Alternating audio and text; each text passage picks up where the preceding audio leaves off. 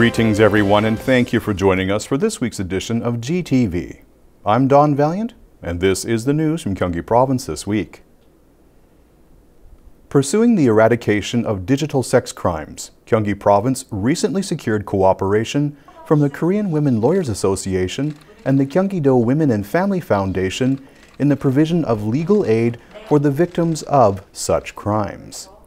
These organizations will work together to prevent digital sex crimes while aiding victims through administrative and policy-making initiatives. Linde, a global industrial gas and energy enterprise in the United States, recently announced plans to establish and expand industrial gas production and hydrogen recharging facilities in Gyeonggi Province. To this end, the company and the province signed an MOU for an investment amounting to 1.5 billion US dollars, the largest foreign investment realized by the province so far this year. Gyeonggi Province will expand the scope and subjects of its Small Business COVID-19 Bank Account Program to help businesses overcome difficulties stemming from the prolonged pandemic. The total budget for the program has been increased from 200 billion to 400 billion Korean won, while application criteria have been eased significantly.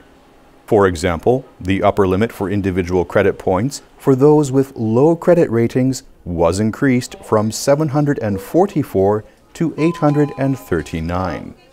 Applications are being received at NH Bank branches in the province with the eased criteria entering into effect from June 21st. In a recent user satisfaction survey on the Hanam Rail Line, an extension of Subway Line 5 and the first Gyeonggi-initiated Metropolitan Rail project, 97% of respondents expressed overall satisfaction. Positive ratings were especially high for cleanliness and comfort factors. Up to June 20th, Gyeonggi Province will receive applications from System Semiconductor and Nanotech Enterprises seeking to participate in its Nanotech SME Support Program.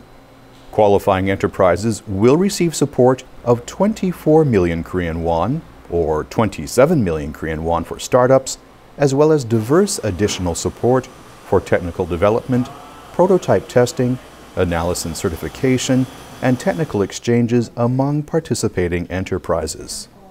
Accepted startups can enter the one-person Creative Support Center at the Korea Advanced Nanofab Center and also participate in customized startup capacity building programs, including mentoring services for individual enterprises. On June 11th, 26 Gyeonggi provincial organizations jointly engaged in the Social Economy Public Procurement Promotion Declaration to promote the public procurement of products and services from social economy enterprises which pursue both economic and social values. Manifesting the intention of the participating organizations to become active clients of social economy enterprises, this joint declaration also includes the commitment of each participant to disclose annual procurement targets and results, and to observe priority procurement ratios for social economy enterprises. On June 10th, the Gyeonggi Provincial Assembly had the third plenary of its 352nd regular session. During the administrative inquiry session, opinions and proposals were presented, including those regarding basic income payments to artists directly impacted by the pandemic the provision of provincial support to special households such as single-parent families, and the balanced development of southern and northern provincial regions. The plenary also saw five-minute free speeches by assembly members regarding local issues including the transit rights of individuals with disabilities and repair support for older urban homes.